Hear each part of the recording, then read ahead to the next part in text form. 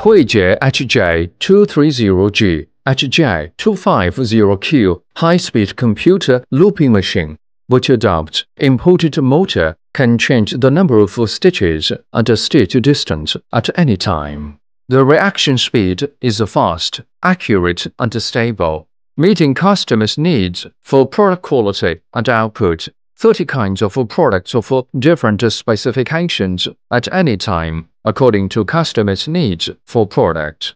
One-click operation is easy to handle. When the machine is short of cloth, thread, and buckle, it can automatically alert. According to the output demand, the speeds can be adjusted within the control range, and the output of each order can be counted automatically. It can solve the problems such as insufficient output and unstable quality. The machine can work continuously for 24 hours. With long service life and low maintenance, one worker can operate 5 to 6 machines at the same time, effectively ensuring the quality and output and greatly improving the efficiency.